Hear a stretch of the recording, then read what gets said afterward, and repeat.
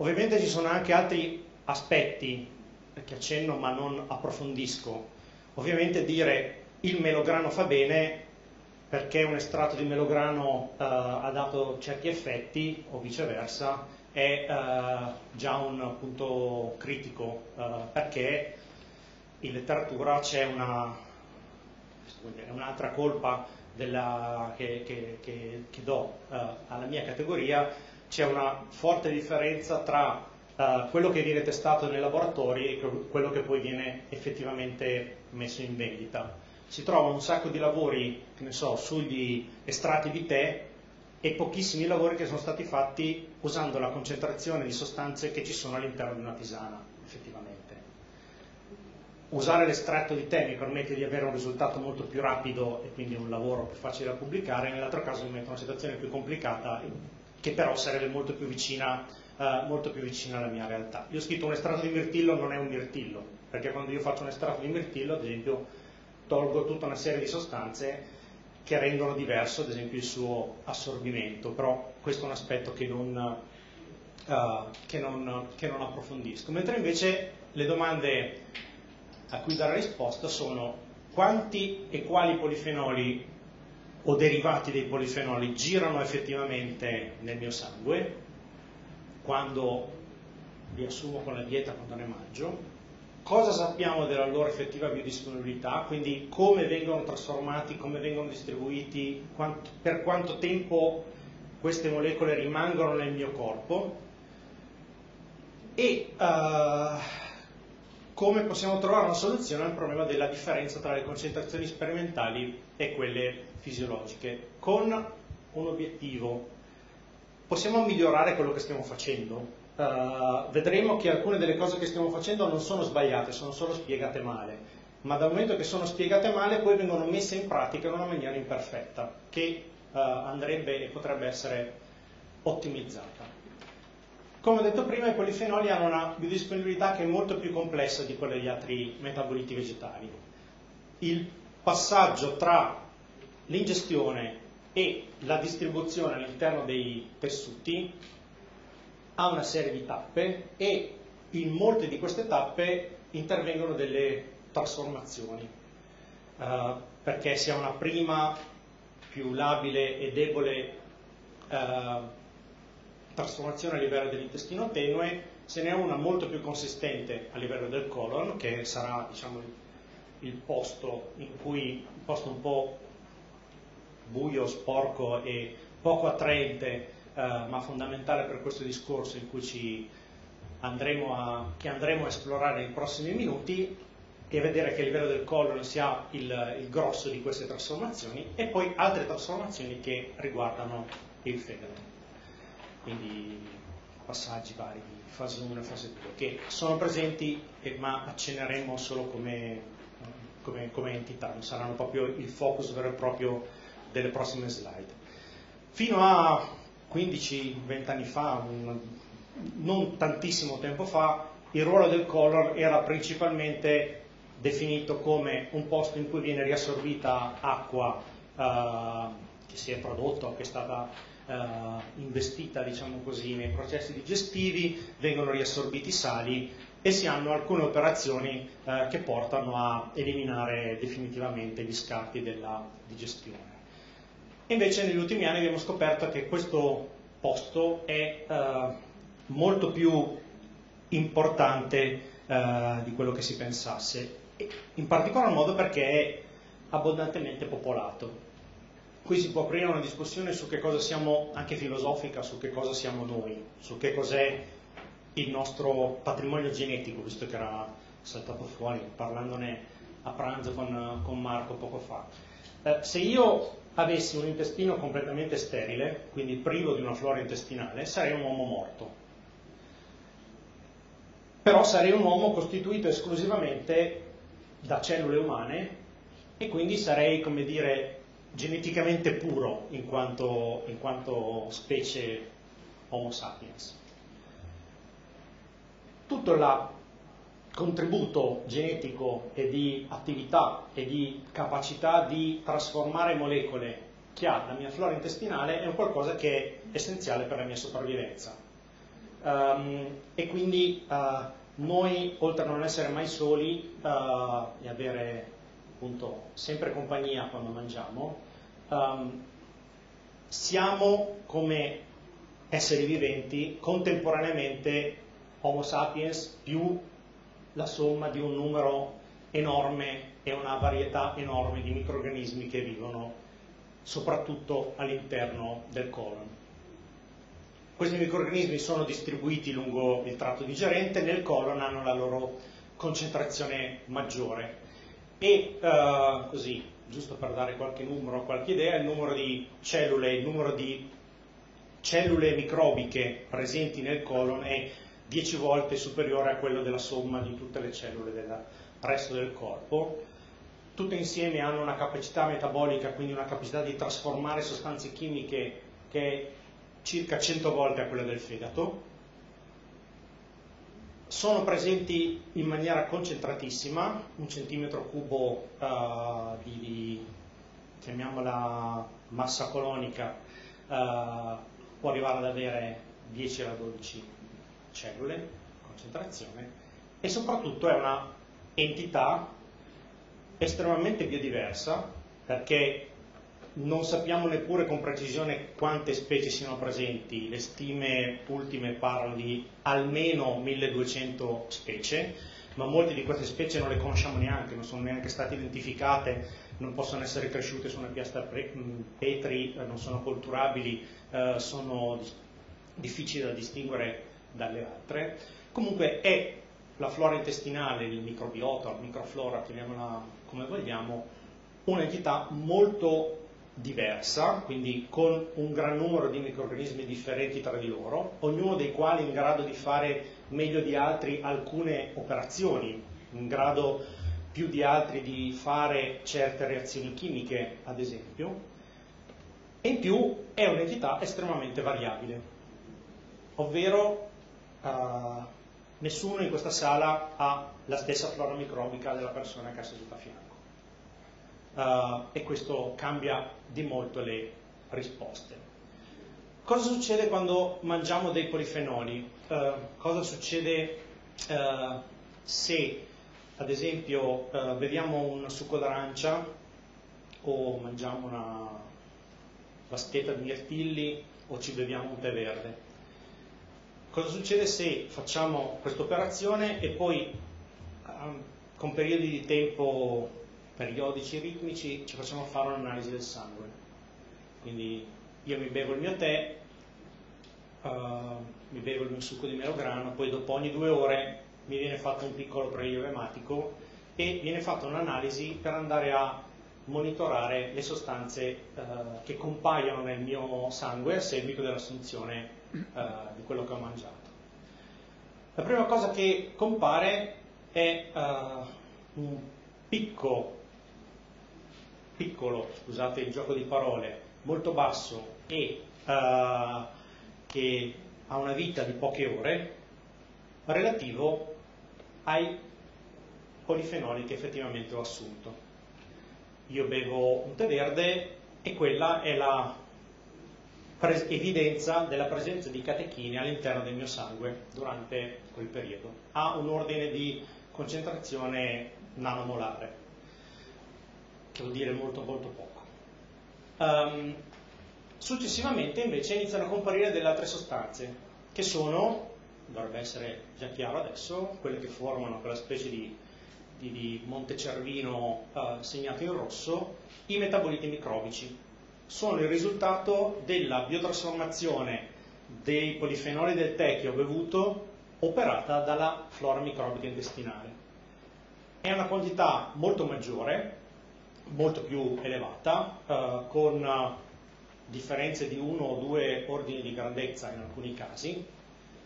e soprattutto è una uh, presenza che è molto più lunga nel tempo. Ad esempio, se io bevo, diciamo che io bevo il tè alle 5, come da tradizione, se io bevo il tè alle 5 tutti i giorni, avrò per circa tre ore la presenza nel mio sangue di alcune catechine del tè. Ma il giorno successivo, quando io bevo il mio secondo tè delle 5, non ho ancora finito di smaltire i metaboliti della, uh, del tè prodotti dalla mia flora microbica intestinale. Che vuol dire che in un caso ho dire, dei flash, ce n'è un po', poi per lunghe ore non c'è niente, poi ce n'è un altro po', lunghe ore non c'è niente. Nel caso invece dei metaboliti microbici, queste sostanze sono presenti nel mio organismo sempre se io assumo regolarmente questa sostanza. Vuol dire che sono sempre in giro nel mio sangue, vuol dire che sono sempre visibili alle cellule del mio organismo, vuol dire che sono uh, anche in grado di, in teoria, di concentrarsi ulteriormente per un uh, effetto di riciclo enteroepatico. Quindi sono quantità che se io assumo, sono sostanze la cui quantità Uh, in caso di assunzione prolungata uh, è costante e regolare, cioè sem- assicura sempre una presenza e anche una concentrazione progressivamente elevata. Il problema della ricerca scientifica fino a non molto tempo fa è stato che i saggi in vitro o le prove sugli animali o uh, le valutazioni che venivano fatte erano tutte concentrate sulle molecole blu e non sulle molecole rosse. Perché questo? Non per dire, cattiveria, ma perché non sapevamo che avvenissero queste trasformazioni e non eravamo, mai, non eravamo mai andati a vedere quale fosse il risultato di queste trasformazioni, cioè non sapevamo quali molecole andare a cercare. Questo grafico io lo posso costruire se so quali sono i prodotti della biotrasformazione. Se so che la molecola X si trasforma nella molecola Y, io posso andare a cercare la molecola Y. Se la molecola Y non so come è fatta non so che esista, è molto difficile che io la, la vada a trovare. Quali sono queste uh, molecole con qualche numero? Mangiamo flavonoidi, quercetina ad esempio. La quercetina uh, viene uh, trasformata quasi completamente, con differenze tra l'altro che riguardano anche il tipo di zuccheri che possono essere legati a, a, a flavonoidi all'interno del glicoside e il grosso viene trasformato in molecole molto più piccole come quegli uh, idrossiacidi che sono elencati di sotto. Sono quelle le molecole che io trovo più abbondanti nel sangue quando assumo dei flavonoidi. La biodisponibilità effettiva, quindi la percentuale di quercetina uh, che io trovo nel mio sangue rispetto a quella che assumo con la dieta, è nel migliore dei casi circa il 3% vuol dire che il 97% diventa qualcos'altro, si trasforma in qualcosa di completamente diverso. Lo stesso se mangiamo delle arance. Uh, nell'arco di 8 ore il 35% um, ehm, della esperetina presente in un succo d'arancia diventa uh, l'acido idroferulico, quindi che è quello diciamo, più abbondante. Ancora, lo stesso avviene per, il, per gli antociani, oltre l'85% degli antociani non viene assorbito a livello dell'intestino tenue così com'è, ma procede dritto fino al colon finché non, scontra, non si scontra nella, con la flora microbica e viene trasformato. La, sua, la biodisponibilità degli antociani è eh, diciamo infinitesimale, è estremamente, estremamente piccola. Apro qui una piccola parentesi su cui torniamo più avanti se faccio un saggio di attività antiossidante sugli, anti, sugli antociani e dico la petonidina, la delfinidina, l'estratto ricco in delfinidina ha un'attività antiossidante 150, produco un'informazione che è valida, ha un senso, ma non vale se io la considero riguardo a quello che succede dentro il mio corpo. Perché una volta che quella sostanza è arrivata al colon si trasforma in un qualcos'altro e quindi quel dato per spiegare qualcosa che succede nel sangue di fatto, di fatto non mi serve. Ovviamente, e qui lo accenno uh, con uh, le trasformazioni, più è grande la molecola, più è grande la trasformazione, mentre più è piccola la molecola, più le trasformazioni sono limitate, come avviene con uh, gli acidi fenolici, andrebbe sempre considerata poi l'ulteriore trasformazione che fa, che fa, il fegato, visto che queste molecole non girano così, ma girano legate, sempre legate a qualcos'altro. Un caso che approfondiamo di più, e visto che ho citato melograno più volte aveva, aveva un, un, motivo, è quello degli ellagitannini, che sono i tannini uh, che caratterizzano appunto ad esempio il melograno. Quasi il 90% degli alagitannini arriva non assorbito fino al colon. Arriva fino lì, eh, non viene assorbito e subisce forti trasformazioni che prevedono una specie di sequenza, cioè ehm, la prima operazione prevede che vengano tolti gli zuccheri che ci sono intorno, eh, si forma una eh, molecola che poi viene leggermente ritrasformata fino a dare acido ellagico. L'acido ellagico viene assorbito in piccola quantità, mentre il grosso subisce delle trasformazioni che prevedono una sequenza precisa, cioè si formano sempre prima eh, quella sostanza, la prima che si incontra seguendo le frecce, che è l'urolitina D, poi successivamente si forma l'urolitina C, l'urolitina A e l'urolitina B, le quali vengono assorbite, vengono eh, legate a, a uno zucchero legato a un solfato per aumentarne la solubilità a livello, a livello del nostro organismo, all'interno dell'organismo, quindi vengono ulteriormente trasformate e uh, se ne vanno in giro per il nostro corpo. Una caratteristica uh, di queste sostanze è che vengono eliminate abbastanza lentamente dal nostro corpo hanno una curva che è ancora più estesa di quella che abbiamo visto prima, perché continuano a essere presenti in concentrazioni diciamo, sensibili, eh, concentrazioni micromolare, quindi sono un ordine di grandezza maggiore rispetto a quelli del, uh, dei loro precursori all'interno del sangue, sono presenti per 36 ore. Vuol dire che rimangono in giro nel nostro organismo a speriamo a fare del bene, a fare delle cose positive eh, per un periodo molto lungo prima di essere eliminate eh, in genere tramite le urine. Ricordatevelo questo perché tra breve lo riprendiamo. Qui in sintesi c'è una descrizione delle, dei passaggi, dei, dire, dei, dei, caselli che i polifenoli incontrano quando vengono assunti per via orale. Eh, non subiscono trasformazioni particolari a livello della, uh, del cavo orale, uh, gli enzimi presenti nella saliva non incidono particolarmente nella loro, nella loro struttura, resistono abbastanza bene alle condizioni acide dello stomaco, quindi uh, fin qua non abbiamo molte operazioni da fare. Um, iniziano a perdere ad esempio alcuni zuccheri a livello dell'intestino tenue uh, che stacca degli zuccheri e poi li, li, assorbe, ma non assorbe la parte uh, diciamo non zuccherina della molecola. Tutto quello che resta arriva, alla, arriva alla, al colon, arriva all'intestino grasso, dove avviene il grosso delle trasformazioni.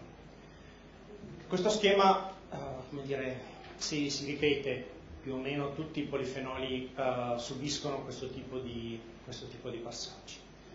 Gli lergitannini sappiamo sono presenti nel melograno, sono presenti uh, nelle noci, sono abbondanti in molti frutti rossi e um, sono considerati sostanze in grado di esercitare un'azione uh, protettiva a livello del sistema circolatorio. Più in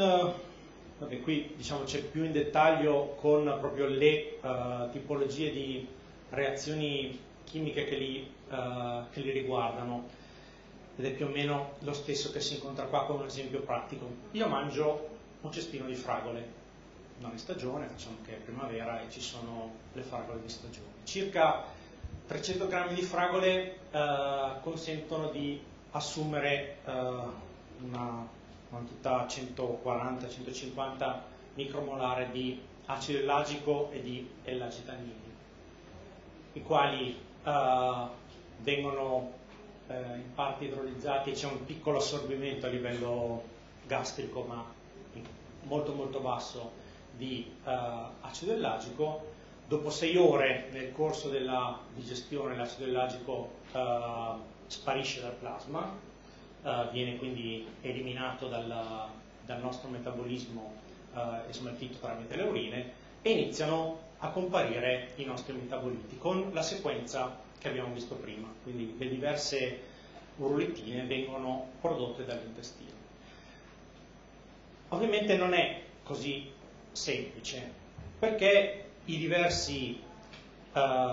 tannini che sono presenti sono sensibili sono oggetto delle attenzioni di microorganismi diversi.